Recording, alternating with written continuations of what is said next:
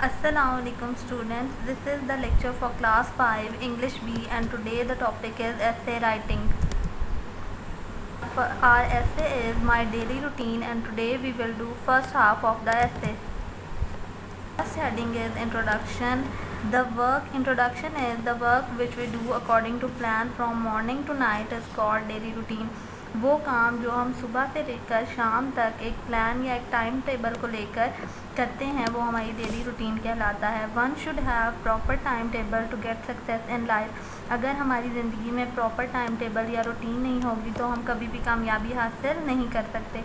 He does all his work at proper time हमें अपने सब काम एक प्रॉपर टाइम टेबल के तहत ही प्रॉपर टाइम टेबल के मुताबिक ही करने चाहिए। What should the next heading is, what should be the routine of a student? एक स्टूडेंट की रूटीन क्या होनी चाहिए? जैसे कि आप एक स्टूडेंट हैं, आप जानते हैं कि आपकी रूटीन क्या है और एक स्टूडेंट अपनी रूटीन को किस तरह प्रॉपरली मैनेज करके सक्सेस हासिल कर सकता है।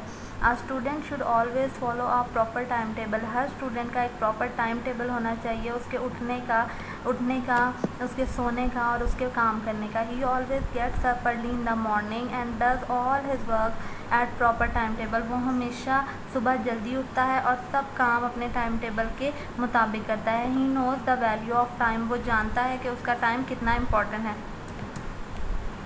इज़ माई डेली रूटीन आज इसमें आप बताएँगे कि आपकी डेली रूटीन क्या है। My daily routine is as follow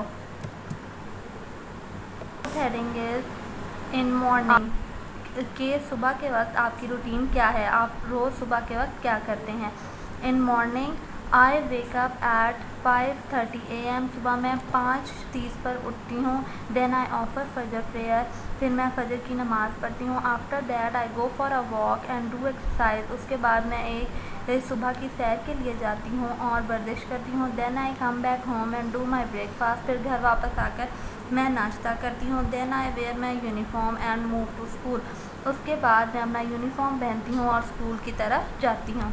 These were your first this was your first half of the and we will do second half uh, very soon inshallah. Thank you allah. Hafiz.